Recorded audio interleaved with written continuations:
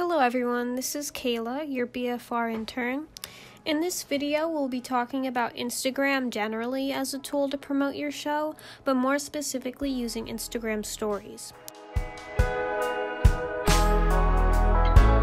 We all know that social media is a great way to bring awareness to business, brands, and of course, your radio show or podcast. First things first, if you do not have an Instagram account, you should definitely make one. This platform is widely popular and more up to date than Facebook. If you want to reach a younger as well as older audience, Instagram has got you covered. Posting on your Instagram page frequently is important for engagement. Things you might want to post are reminders about where and when your next show is, upcoming guests, short snippets on your show as a teaser, and, and more. But just posting on your page is not enough to really engage your followers. Utilizing the story function on Instagram is a great way to amp up your account and reinforce important information and events about what's happening with your show. I'm going to use a fake Instagram account to show you how to utilize the Instagram story function. In a previous video on how to make a promo, I made a hypothetical podcast as an example called Femme Fatales. Okay, first thing profile.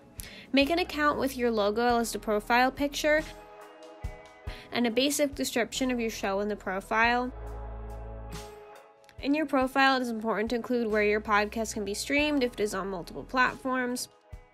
For the web link section, you could put in your show's website if you have one, BFR website if you stream there, or BFR's podcast network.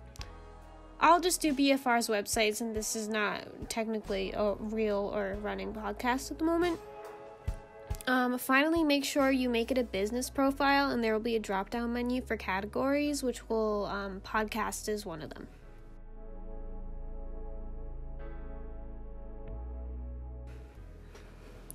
Okay, there are a couple different ways to post. The most basic way to make a post is just do a regular old post on your page, which is a picture or multiple pictures or a short video. Another way to post is to make an IGTV video, which is any video longer than a minute and a half, basically. This will be covered in a different video, um, going more in depth about posting, but I'll just have a quick little example to show you.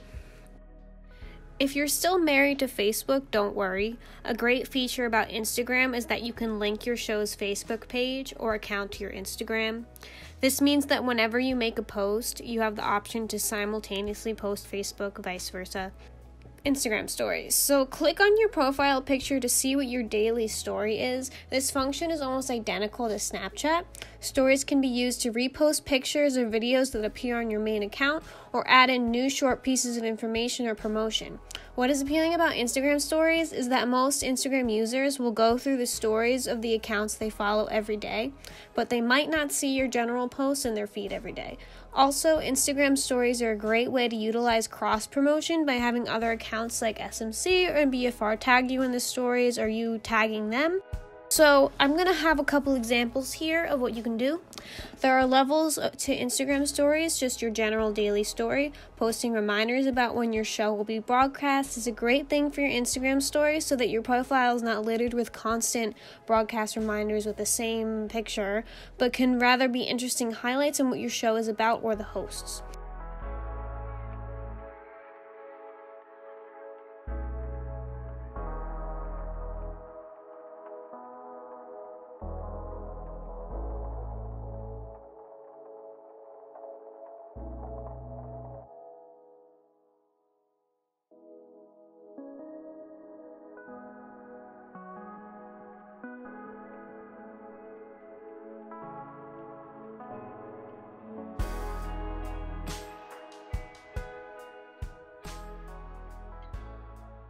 But you can also create highlight reels, uh, which is really cool. Uh, they're basically their own category of stories. So after you post a story, it'll be saved to this highlight reel. So at any time, someone that goes and clicks on your profile can see those posts that maybe happened, like I don't know, like a week ago or something.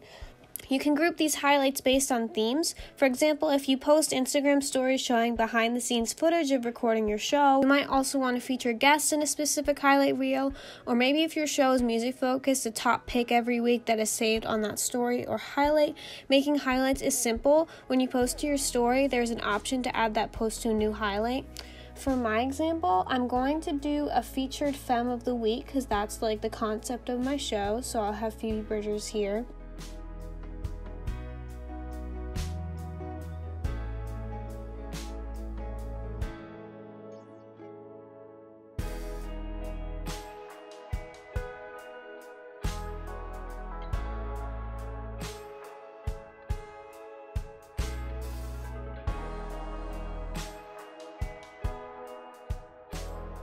And then for the other one, I'm going to just choose a random photo of myself. This is actually from the radio station where I go to school, Tufts, like a year or so ago. And I'm just going to pretend that's my behind the scenes recording for this podcast. But you get the idea.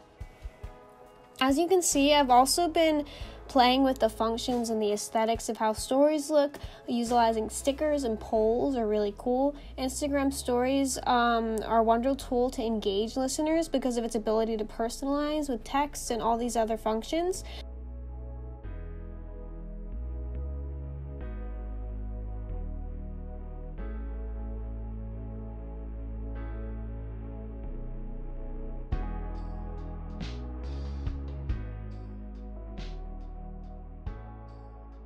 These polls, especially, are a great way to get the viewers involved in your show process. For example, you might make a poll asking which artist to feature on the next episode or which topic to choose from. This will make your viewers feel like they have an active role in your show, and it makes it seem more down to earth and personable.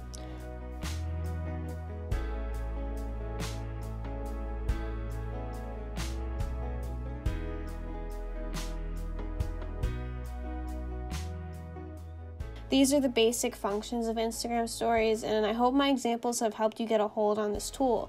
If it seems hard at first, don't worry, you will definitely get the hang of it. And of course, feel free to contact me or other SMC staff if you want some one on one advice.